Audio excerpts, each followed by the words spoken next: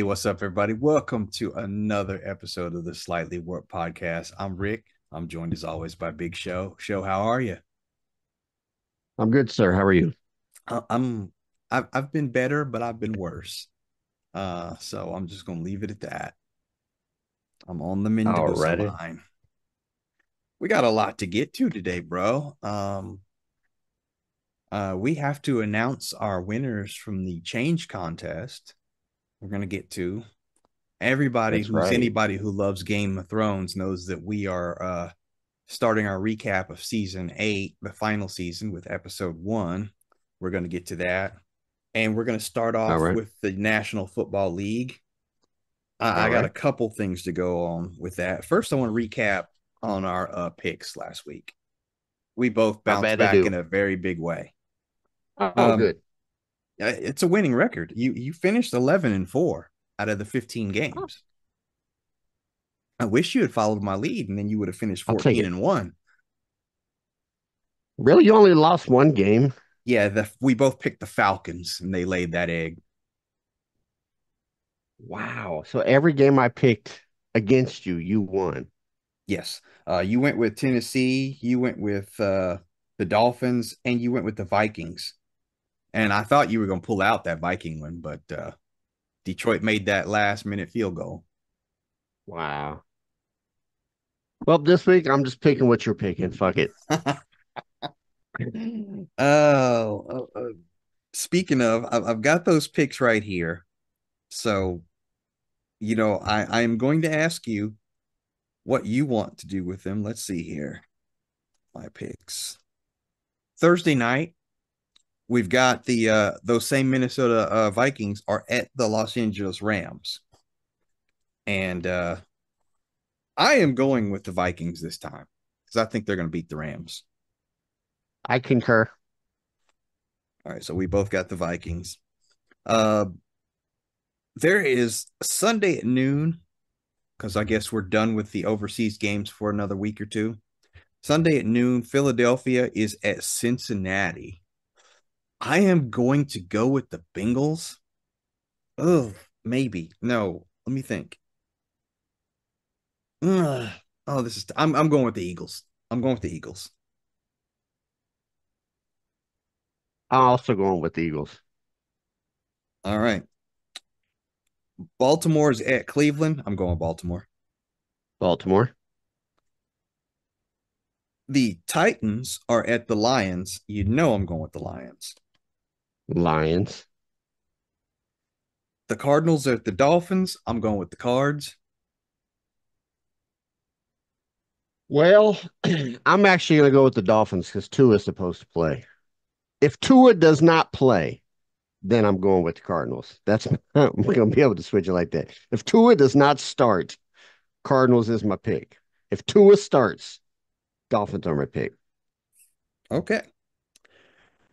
I am going with the Jets over the Patriots. The Jets are actually going to win a game.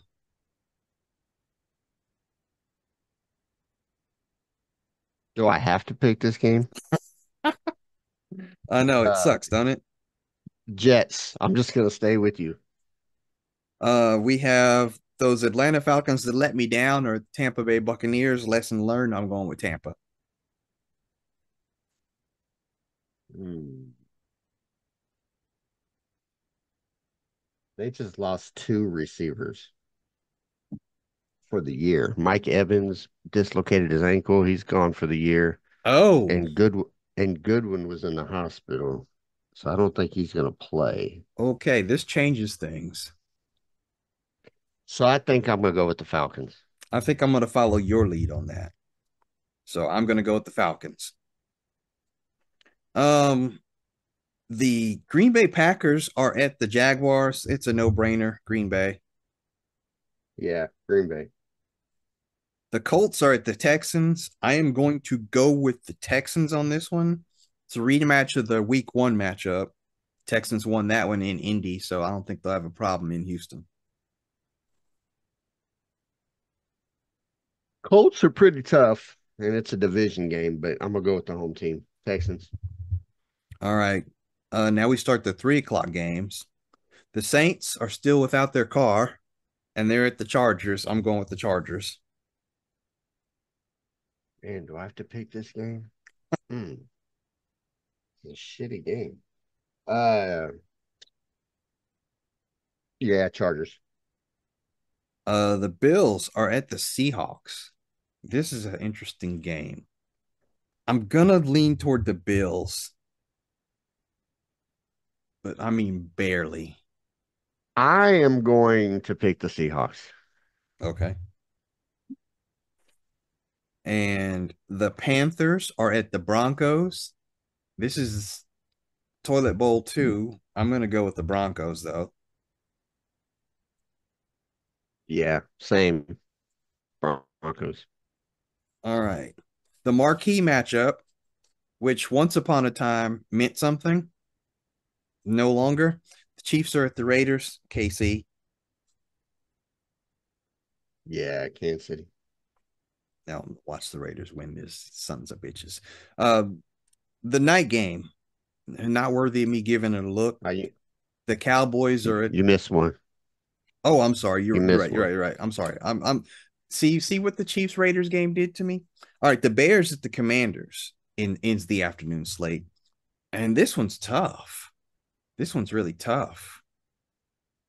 Is Jayden Daniel playing? Yeah, this.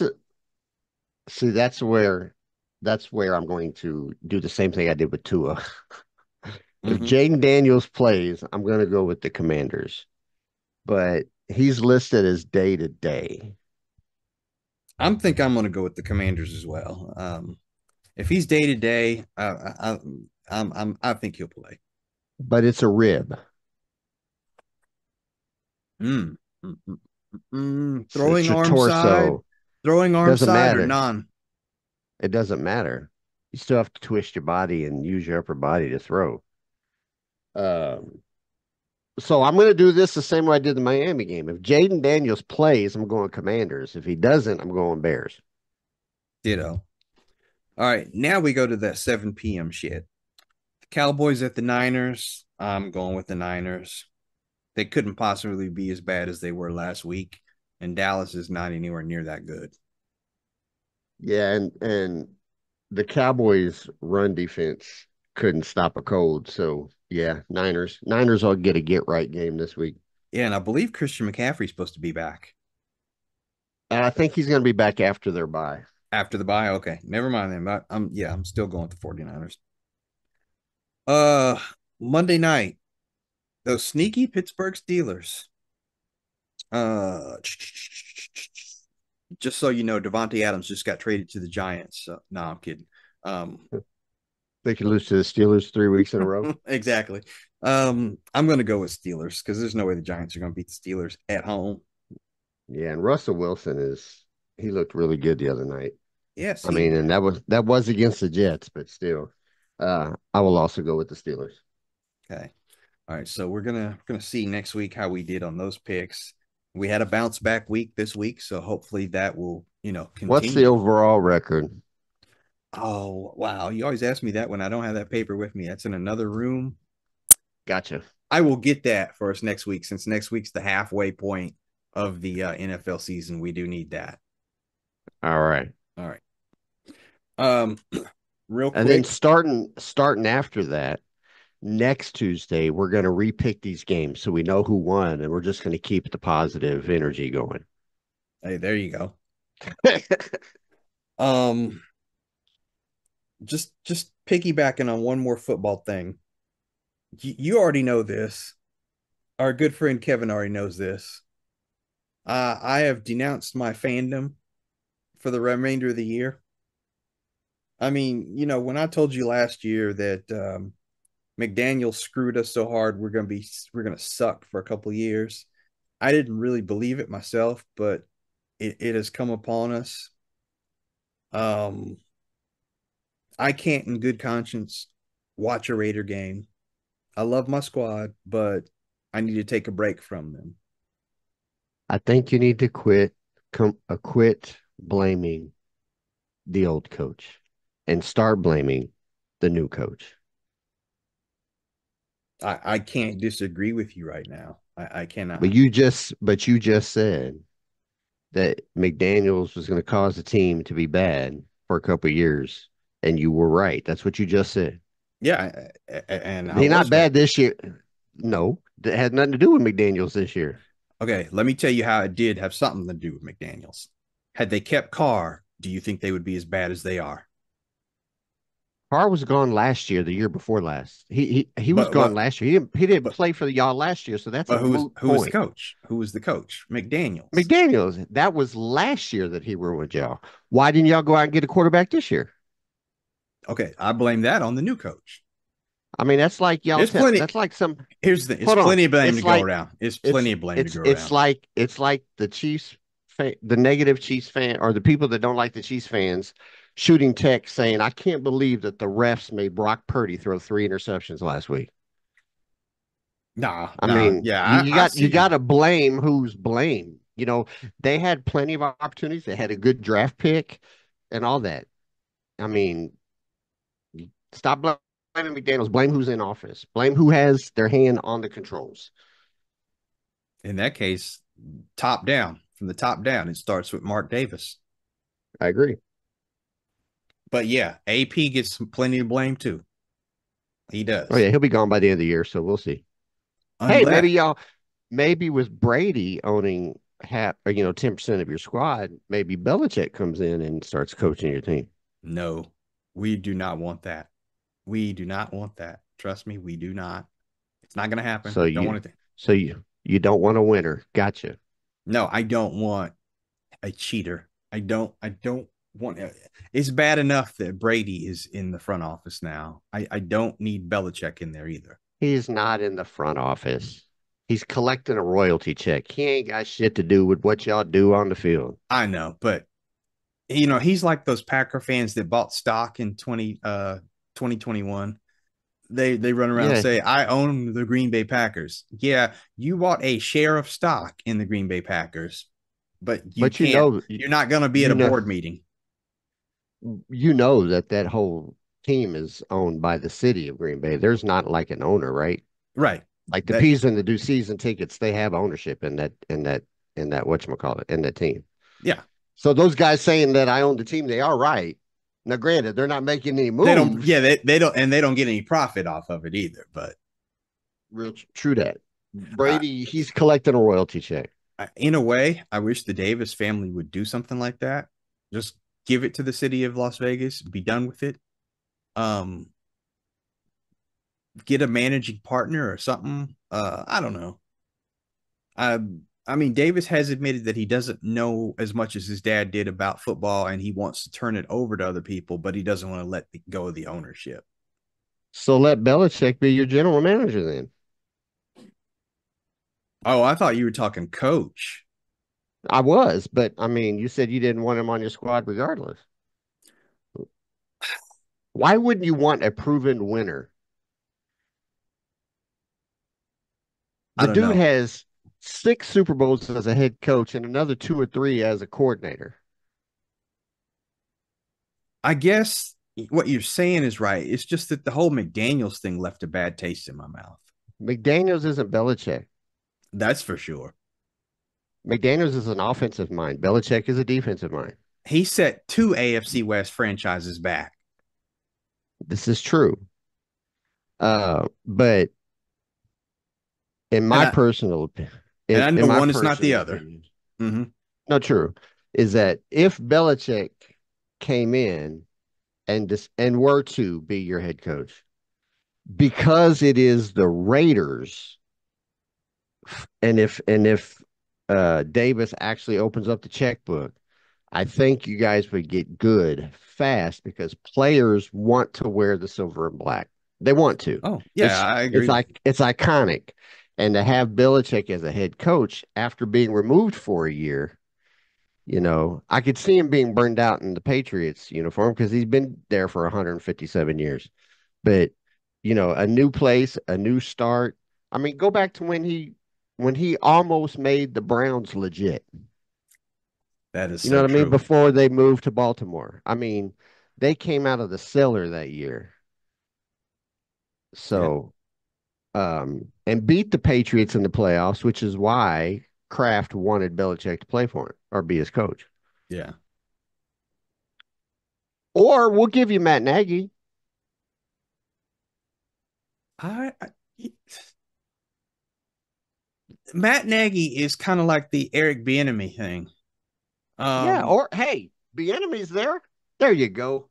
No, no, no. I'm, I'm, I don't mean that in a positive way. I mean, now you're talking. Andy's calling the shots. I know. I oh, I definitely know that. Except for defense.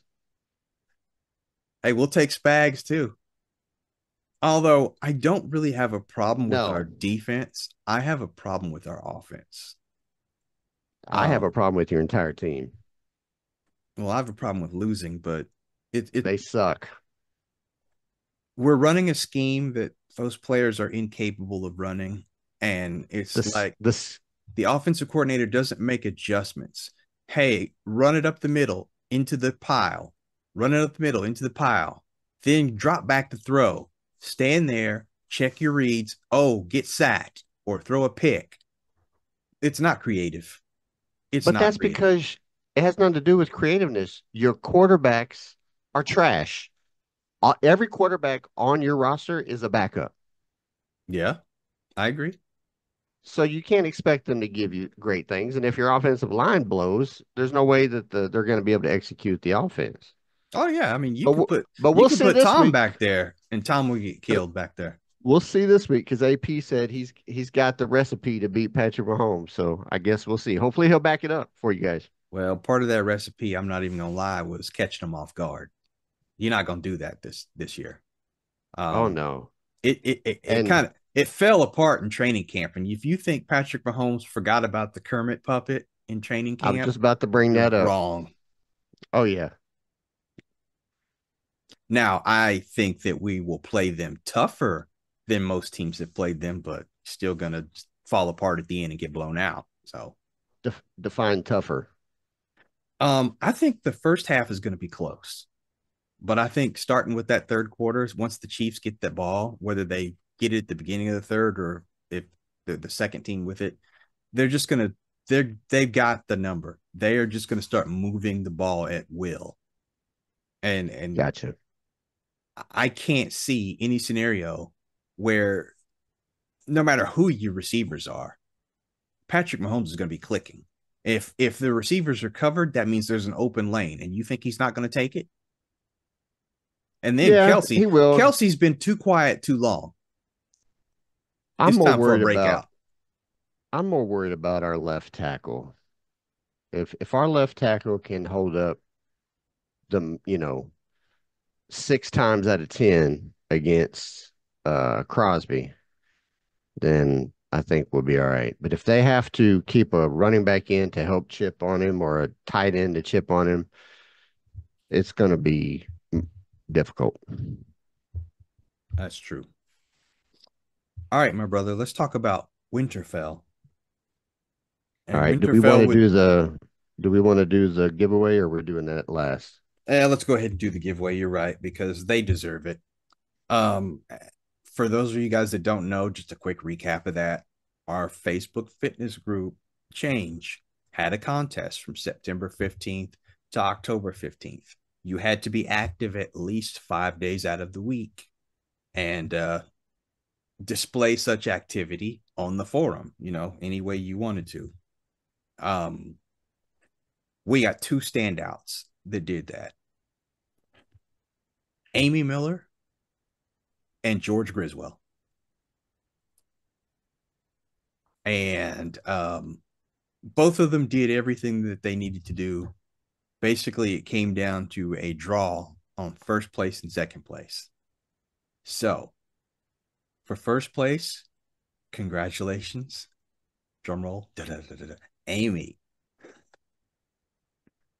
Second place, Grizz. That's you. So George and Amy, once again, good job. Keep it up. Um, you know, I know it was a contest, but don't don't stop being fit just because the contest is over. You you did remarkable jobs, both of you. Uh very proud yes. of you guys. Good Set job. a good example. Set a good example. So I'm going to be contacting both of you so I can, you know, get said prize to you And um, again, wonderful job. Keep up the good work. The rest of you guys need to get in the forum and start putting in that work. Don't wait on the contest because I've seen a lot of people start and they couldn't commit. And that's not the right way to go about it. Because if you go in on fire, that, that fire is going to go out real quick. I'll tell you what was so difficult for me to stay involved, even though I said at the beginning I wasn't going to do it, mm-hmm. was I I get up in the morning and I work out. I Mhm. work out for almost two hours. So happen to go back out there and do it again or do something else. I was like, no, I've already done my workout. I've already done two hours. I'm not doing it again. I'm not doing more. So that's that's kind of why I bowed out gracefully. But no, you know what though? You're still putting in the work. I know, but the contest was workout twice a day. Yeah, yeah, I, and I get that. But technically, you and I weren't eligible anyway. So, True that. True that.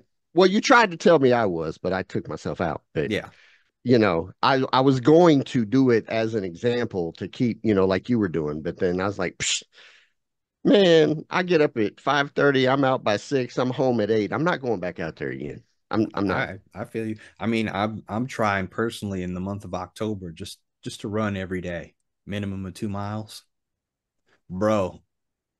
Uh, it's it's it's starting to wear on me.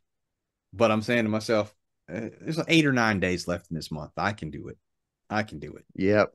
Come November, I'm gonna start adding weight training. So I will be working working out twice a day. Hey, there you go. All right, now, kids, we're going to talk about Winterfell. Yeah, yeah. Winterfell season or season eight episode numero Yep, uno. episode one. You're right. Um, so all right, so this was the last season, and um let me see. Didn't yeah, Gendry got the hammer back, and um I'm trying to remember what happened in what Well, the begin the beginning in Winterfell is is is Daenerys and Jon Snow and the whole Dothraki army and all that coming into Winterfell. Yeah, they, That's- they that's arrived there The whole first part of the season. And what I really enjoyed about that was the homage that they paid that they played blah, blah, blah, paid to season one, episode one, when Robert Baratheon and his group was coming in. Arya was there in the crowd watching the royal whatever come through procession come through the city. hmm She was there now again as the Targaryen royal procession rolled through with her half brother, and then that's when she seen Gendry and you know, and she seen the Hound that was with him and and all of that. So I I enjoy. I kind of liked how they did that to kind of tie it back to the first the first season. Yeah, and it was the first time since season one that all of the remaining Starks were back together. In the same area. Yes. Yeah. Yes. Yes. Yeah, because Jon hadn't seen Bran since Bran was in a coma. Yes. In season one. Yeah. Yeah. So Now he was. They were in the same area at Craster's Keep, but um, the one dude and the frog lady and the frog boy and Hodor, they took off before they could tell. They could tell that Jon that his brother was there. But then Hodor killed that guy. Remember? Uh, yeah, uh Bran took over his body and killed him because he was trying to kill them or whatever. Or he was gonna ransom Bran actually. Yeah, dang. I forgot about that. You're right. Yeah, so you know, happy family reunion, all that good stuff. Um it it was fun. I'm trying to remember um You want me to lead it? yeah, go go for it. Help me out. Okay. So you had that par- portion there, and then they moved to uh King's Landing. And you see Cersei talking to uh I think it's M- Maester Ky Qyburn, the the one that um basically made the mountain a zombie. Yes. Uh, and basically, you know, that's when she basically told him that we're not sending the because he told her, hey, the, the the wall has fallen, the Night King in the army has made it into Westeros, you know, made it in there, and she was like, good, you know, I'm not sending my army there to help, like you know everybody was expecting, and then you see the ships of the um, The Iron Fleet. Iron Man.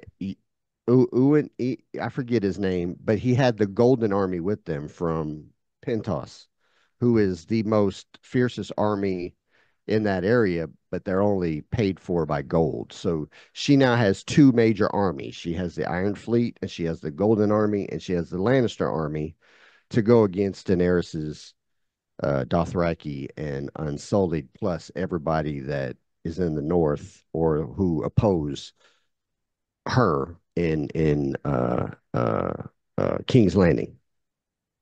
So there was that, and then you move on to kind of back to Winterfell, and you hear um, what's the eunuch's name? Very Varys.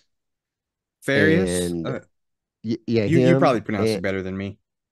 And uh, Tyrion and the Onion Knight were talking about wouldn't it be great if we could get Daenerys and Jon Snow to marry so they could rule the seven kingdoms together and they would be a good match that could keep the realm in peace for years? Is and then that in line Tyrion says but the problem is is that nothing stays the same and then you see you know it just a lot of different stuff where um Arya goes down to see Gendry, ask him to make her A a sword. Yeah. special we- a special weapon. Yeah. Uh, and uh, you know, he's hitting on her, she's hitting on him back. I could have did without that, but I, I understand. They kind of had puppy love for each other when they were on the road.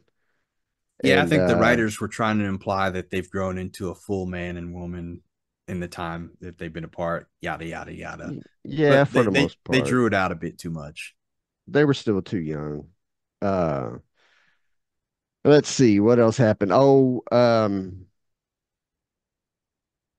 the Targaryen Daenerys went in there and told Samuel that you know she basically killed his dad and his brother, um, which which uh, upsets him. He runs down, um, runs into Bran, and Bran says it's time we tell Jon.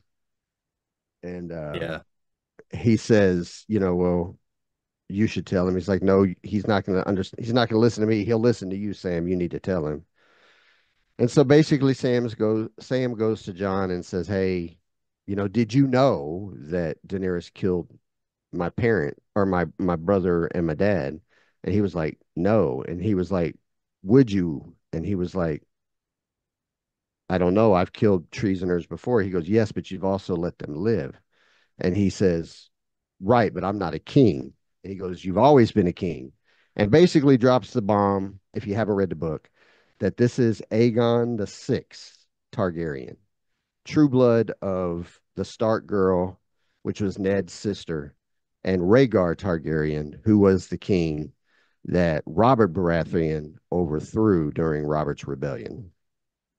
So technically, he is the nephew of Daenerys, whom they've been boinking each other already. Yeah.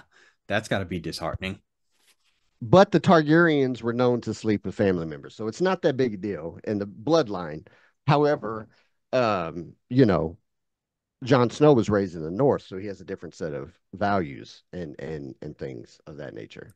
Very true. Uh, but you know, Jon Snow gets to ride the his first time riding the dragon um, with Daenerys. They get to do that, and then it basically ends uh, with uh, Jaime Lannister coming into Winterfell, and Bran sees him, and then it pretty much goes dark from there. Oh, let me let me go back too, because when uh, back in Lannister, the the the ah, what the hell is his name? The dude that's running the Iron Fleet, that guy.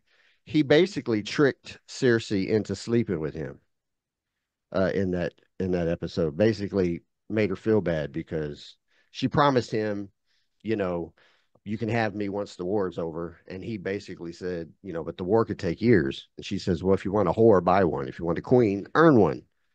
He goes, but haven't I earned it already? And basically explained to her what he did. And so she felt obligated to to give him what he needed. And she did. That's true. Um, I I call that crafty thinking on his part, but um, oh yeah, and then the very ending part is you see the Dondarrion dude and uh, the rest of the Night's Watch, and then you see uh, Giantsbane are in a castle, and the White Walkers have already went through there, and you they see the head, the boy that was that was at the beginning of that's the episode, right. Yeah, um, that was sent back by Sansa to get to bring all of her people to Winterfell. Um, he was basically impaled on the wall with a bunch of ripped up body parts in that uh, symbol that you see throughout the series, and uh, and that was that's kind of yeah, that's kind of you knew you know that the shit's it's they're there now. You know, shit's about to get real. Yeah, yeah. It, so for the was. most part, I think the episode set the season up fairly decent. It did. It did. Um, it, it gave us what at that time we were already used to. And as I mentioned uh, last week, it was either last week or the week before. The only letdown for me was, you know, the wait.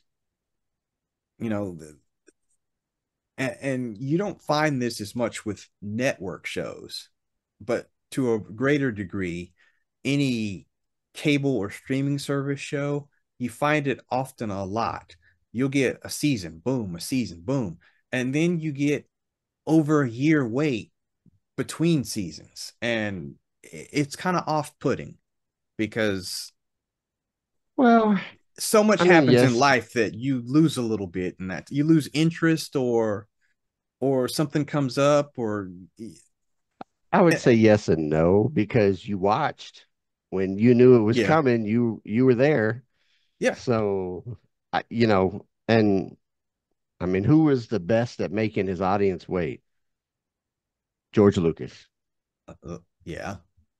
So, I mean, they're just take they're just you know he invented the wheel and they're not reinventing it. That's true. I, I, and you're right. Once once the wait was over, we did get a good episode. It set the tone for what could have been a great season. It was a good you know, season. I'm not, I'm, I'm not going to say the season wasn't great, and we'll get to it. yeah, we'll think, get to it. I think that it definitely could have been better. Yeah. But you know, as we're only on episode one. Yeah, we're so on we're episode good. one, so we're just going to stick to episode one. And I, I, will say this: there were more good than bad. So you know. Oh and, yeah, and we'll most definitely. That. Most definitely. I want to know what you guys think about episode one of uh season eight of Game of Thrones, Winterfell. Were you happy when it finally came back? How did you feel about it? And um, what was your favorite part of the episode? Please uh, leave us a, a, message on the uh, platform you're on, or you could just email us at the slightly warped podcast at yahoo.com as well. If you're watching this on YouTube, you know you can hit us up in the comments. Uh, next week, we're talking episode two of season eight. So yep. yeah, we mm. got. Go ahead. I want to. I want to. I just want to add a couple tidbits that you know from like the book. Oh, okay. And things like like that, and also, you haven't watched Dance of the Dragons, any of that, have you? I have not. I have not. So obviously this season happened way before anybody knew that we were going to see dance of the Dragons, right? So things that I, as I rewatched this episode, I'm like, man, that was really clever on how they did the new series or the new, you know, the mm. Dance of the Dragons. Like that's really clever how they kind of tied that in without tying it in, type of thing. You know, I've already talked about the the blade that Arya holds. That's that's that's in the original, but the way that the dragons selected Jon Snow to allow him to ride. That I thought was perfect because that's kind of how it happens in uh in the show Dance of the Dragons. If the dragon doesn't want to bond with you, he's going to kill you. That's just he's going to light your ass on fire. That's just what he does. I'm I'm glad you or, mentioned that dragon because that same dragon and Jon come into play later on. I can't talk about it now, but we yeah that that she does and um so I I I, I like that and and kind of just flipping to a different point of view. And I'm not all the way through the fourth book yet but from what I understand the mountain is actually dead in the books. Like he doesn't get reanimated. Hmm and now maybe I'm just not at that part in the book yet, but they've stated multiple times that he died on the table while Qyburn was working on with him. Now maybe that's just a tongue in cheek because the mountain died, but what's left is this monster guy, possibly. Um, but what I really dislike about the fourth book is the third book ended when Tyrion, Tyrion, Tyrion killed his dad that's that's basically where the book ended that that storyline. I am almost i would say a little over halfway through the fourth book and there has been no chapter about tyrion. Like you just don't they're they're like laying pieces to all these other people that come into the plot you know that we meet during the show. So in my mind i know who they are but like if you've never seen the show you'd be like damn the fourth book really turned to turn right from where the first three went because there's a lot of new pieces to the puzzle. And then I don't know if I told you this as well, but the end, the epilogue in season or in book three, uh, Cat Catelyn Stark is not dead in the books. She I think you did tell was, me that. She was resurrected like Jon Snow was uh, with the Lady in the Red. Mm-hmm she was she was resurrected by that Dondarrion dude that has the flaming sword that was dealing with the hound in the show. You know what I'm talking about? The yeah. guy with the patch. Yeah. Uh, and she is called.